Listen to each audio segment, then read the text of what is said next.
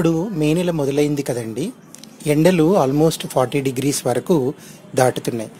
So ఇలాంటి సమయంలో మన మొక్కల్ని మనం కాపాడుకోవాలి అంటే మనం ఏం చేసుకోవాలి?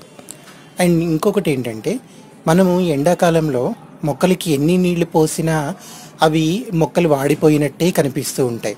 సో అలాంటి సందర్భంలో మనము ఎటువంటి ప్రికాషన్స్ చేస్తే మన మొక్కలకి మనము తక్కువ వాటర్ ఇవ్వచ్చు. అండ్ మొక్కలు మంచిగా హెల్దీగా గ్రీనరీగా మనం కాపాడుకోవాలి. అయితే ఇంకెందుకు ఆలస్యం? లెట్ స్టార్ట్ హాయ్ అండి నమస్తే. వెల్కమ్ టు రెక్స్ గార్డనర్ ఈరోజు మనము మల్చింగ్ ప్రాసెస్ కోసం మాట్లాడుకుందాం. అయితే మల్చింగ్లో టోటల్ సెవెంటీన్ ఐటమ్స్ ఉన్నాయండి. అంటే పదిహేడు రకాల వస్తువులతో మనం మొక్కలకి మల్చింగ్ అనేది చేసుకోవచ్చు. అయితే నేను దాంట్లో కొన్ని మాత్రమే మీకు ఇప్పుడు చూపిస్తున్నాను. సో ఈ కొన్నిట్లో కూడా అంటే మనకి ఇంటిలో లభ్యమయ్యే ఆ వస్తువులతోనే మనం చేసుకోవచ్చు. దీనివల్ల మనకి చేసుకుంటే ఎటువంటి ప్రయోజనం ఉంది? సో ఎందుకు మల్చింగ్ చేసుకోవాలి అనేది మీకు చెప్తాను. అయితే మల్చింగ్ అనేది మనకి ఎండ నుంచి కాపాడుతుంది. అండ్ తక్కువ నీరు అనేది అవసరం అవుతుంది సో ఈ రకాలు ఏంటో మీకు ఇప్పుడు చూపుతాను. ఒకటి ఏంటంటే మనం ఎండిపోయిన గడ్డి వాడుకోవచ్చు. అలాగే ఎండిపోయిన అంటే గడ్ వరి గడ్డి ఉంటుంది కదండి. వరి గడ్డి కానీ లేకపోతే ఎండిపోయిన పొట్టు వరి నుంచి తీసిన పొట్టు తర్వాత ది చెరుకు గడ్డలు ఉంటాయి కదా వాటి యొక్క పొట్టు నెక్స్ట్ ఎండుటాకులు తర్వాత కొబ్బరి పీచు తర్వాత ఎండిపోయిన పుల్లలు చిన్న చిన్నగా కట్ చేసి దాన్ని మనం వాడుకోవచ్చు. తర్వాత మనము కార్పెంటర్ చే కార్పెంటింగ్ చేసేటప్పుడు మొక్కలు రాలుతూ ఉంటాయి కదా వా- వాటి యొక్క వాటి యొక్క పొట్టుని కూడా మనం వాడుకోవచ్చు. నెక్స్ట్ ఇంకొకటి ఏంటంటే గోని సంచి. గోని సంచిని మనం వాడుకోవచ్చు పేపర్ వాడుకోవచ్చు. పల్లీల పొట్టు వాడుకోవచ్చు. తర్వాత ఇంకా మల్చింగ్కి ఇప్పుడు ఈ మధ్యకాలంలో ఒకటి వస్తుంది మల్చింగ్ ఫిల్టర్ అని. అంటే ఒక ప్లాస్టిక్ పేపర్లా ఉంటుంది. మధ్యలో హోల్స్ అనేది స్టార్ట్ అవుతూ ఉంటాయి.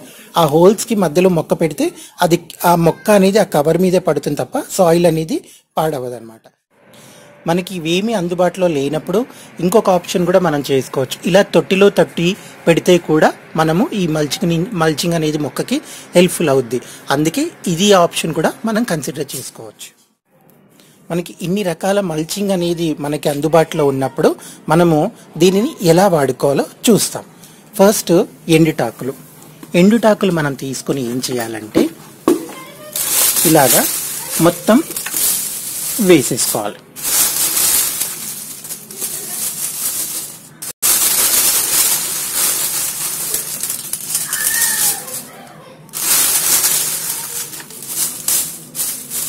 ఇట్లా వేసుకుంటే ఏమవుద్దంటే మనము తర్వాత వాటర్ వేస్తాం కదండి ఆ వాటర్ వేసినప్పుడు అంతా ఇది చల్లగా మొక్కకి చల్లదనం ఇవ్వడంతో పాటు వాటర్ కన్సిస్టెన్సీ కూడా తక్కువగా ఉంటుంది. నెక్స్ట్ పేపర్లు ఇది ఉంది కదండి ఇట్లా పేపర్లు వేసేయడం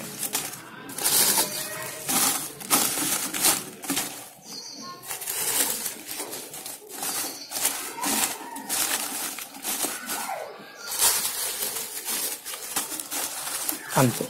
ఇలా వేస్తే పేపర్ సరిపోతుంది. నెక్స్ట్ ఎండిపోయిన చెక్క ఈ ఎండిపోయిన చెక్కలు ఏంటంటే ఇలా మనము డైరెక్ట్గా ఇలా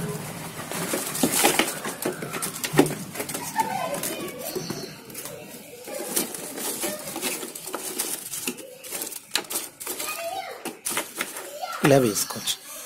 నెక్స్ట్ ఇంకొకటి ఏంటంటే కొబ్బరి పీచు.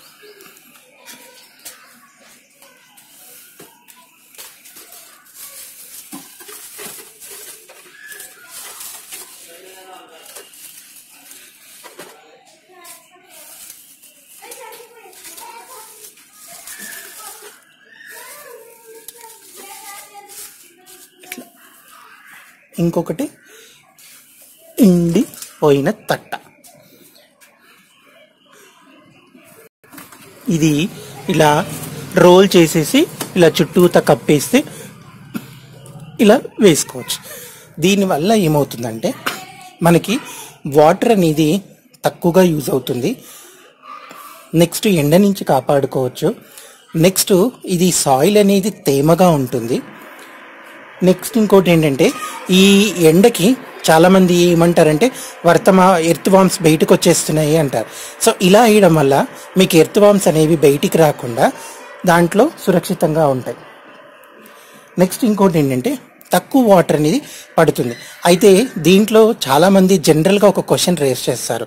మేము ఇలా వేస్తే చెదలు అనేది వస్తూ ఉంటాయి మొక్క అనేది పాడైపోతుంది కదా అని. చెదలు వచ్చినప్పుడు ఏం చేయాలంటే మీరు డబ్ల్యూటీసీ ఉంటుంది కదండి.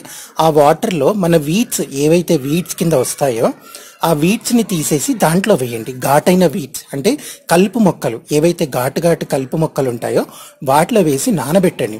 అప్పుడు ఏమవుతుందంటే ఆ కలుపు మొక్కలకున్న రసం అంతా కూడా ఆ డబ్ల్యూటీసీలో దిగేసి ఆ మొక్కలు కనుక మనం చెట్లకి వేస్తే కనుక అది ఎంతో బలంతో పాటు ఇలాంటి చెదలు చీమలు ఇంకా ఎటువంటి పెస్టిసైడ్స్ అనేది కూడా రాకుండా కంట్రోల్ చేస్తుంది సాయిల్లో ఎస్పెషల్లీ. దీనివల్ల మనకు అదొక ప్రయోజనం ఉంది నెక్స్ట్ చీమలు అలాంటివి ఏదైనా వస్తే కనుక వేపాకుని దంచండి. దాంట్లో ఓన్లీ పచ్చి వేపాకి దంచేసి దాంట్లో వెల్లుల్లిపాయి తర్వాత కొంచెం ఒక రెండు మూడు నిమ్మరసం డ్రాప్స్ వేసి కొంచెం సాల్ట్ వేసి ఎక్కడెక్కడైతే వస్తుందో అది సాయిల్లో వేయచ్చు లేదంటే మొక్కకి స్ప్రే చేస్తే కూడా మనం దాన్ని కంట్రోల్ చేయొచ్చు. సో ఇలాంటి ఈజీ పద్ధతులు మనము పాటించడం వల్ల మన మొక్కలు ఎంతో సురక్షితంగా ఉండడం కాకుండా మంచిగా బతు ఎదుగుతాయి. ఇంకా మోరోవర్ ఏంటంటే మనము ఇలాంటి మల్చింగ్స్ అనేది మనం ఇంట్లోనే తయారు చేసుకోవచ్చు. బయట నుంచి కొ- కొనే అవసరం లేదు ఖర్చు కూడా లేదు. సో నేను చెప్పే అన్ని పద్ధతులు కూడా చాలా తక్కువ ఖర్చులోనూ ఈజీగా అందుబాటులో దొరికేవి. అండ్ మనం ఇంట్లోనే ఈజీగా తయారు చేసుకునే పద్ధతులు నేను మీకు ఎప్పటికప్పుడు అందిస్తాను. ఐ హోప్ మీ అందరికీ ఈ వీడియో నచ్చిందని అనుకుంటాను. మీకు నచ్చితే కనుక లైక్ చేయండి షేర్ చేయండి సబ్స్క్రైబ్ చేయండి.